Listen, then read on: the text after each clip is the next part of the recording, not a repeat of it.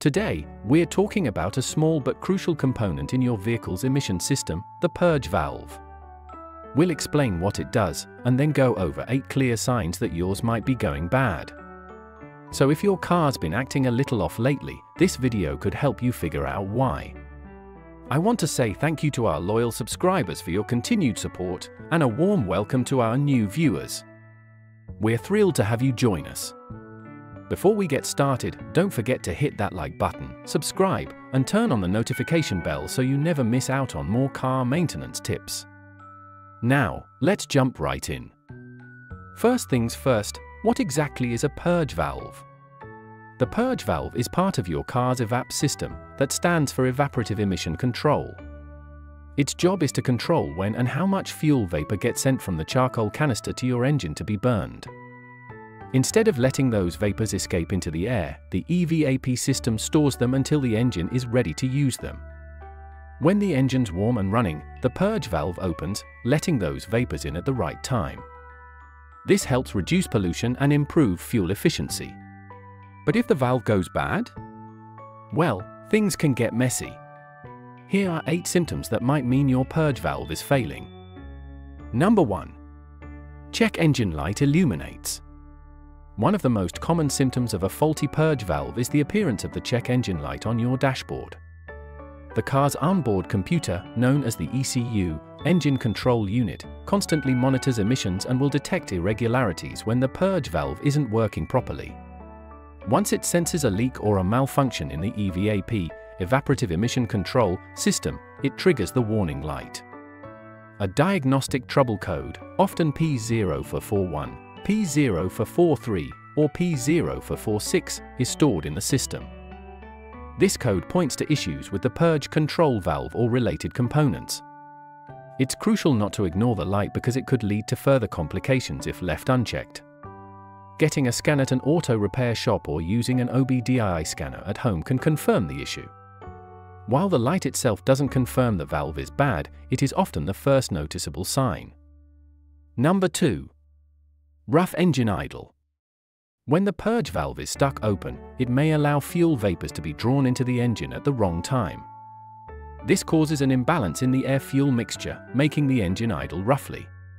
You may notice the RPM needle fluctuating or feel vibrations throughout the vehicle when the car is stopped but running. This unstable idle can become worse as the car warms up or under specific driving conditions. It is most noticeable when stopped at a traffic light or idling in traffic. The engine may even stall in extreme cases, especially if the valve creates a large vacuum leak. Since engine smoothness depends on precise fuel metering, any disruption caused by the purge valve will be noticeable. Mechanics often trace this symptom back to the EVAP system during diagnostics. Number 3. Difficulty starting the engine. A malfunctioning purge valve can make it hard to start your engine, especially after refueling. This happens because an open purge valve allows excessive fuel vapor into the intake manifold, disrupting the ideal air-to-fuel ratio needed for combustion. This can lead to engine flooding, where there's too much fuel and not enough air. As a result, you may need to crank the engine multiple times before it starts. In colder weather, the issue can become even more pronounced. If the valve is stuck shut, the vapors get trapped in the charcoal canister and don't get purged, affecting fuel system pressure. These imbalances can prevent a smooth start, especially if the issue persists over time. If starting becomes erratic after refueling, the purge valve should be inspected. Number 4. Reduced fuel efficiency. Another symptom of a bad purge valve is noticeably poor gas mileage. When the purge valve is faulty, it can lead to inefficient fuel vapor management. This means the fuel vapors that should be burned during combustion are either lost or improperly used. In cases where the valve remains open, the engine may run rich, using more fuel than necessary due to excess vapor being introduced. Conversely, if the valve is stuck closed, the fuel vapors get trapped and are never used, wasting potential energy. Over time, this results in more frequent trips to the gas station and decreased miles per gallon, miles per gallon. A driver may not notice this change immediately, but it's often confirmed after a few weeks of increased fuel consumption. Monitoring fuel usage trends can help detect this issue early. Number 5. Failed emissions test. A faulty purge valve can cause your vehicle to fail a routine emissions test. This is because the purge valve is a critical part of the EVAP system, which prevents harmful fuel vapors from escaping into the atmosphere. When the valve malfunctions, it can either allow those vapors to leak out or cause incomplete combustion.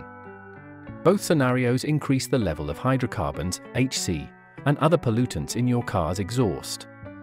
During a smog or emissions inspection, your vehicle may produce readings that exceed legal limits. States and regions with strict environmental regulations often require a fully functioning EVAP system to pass the test.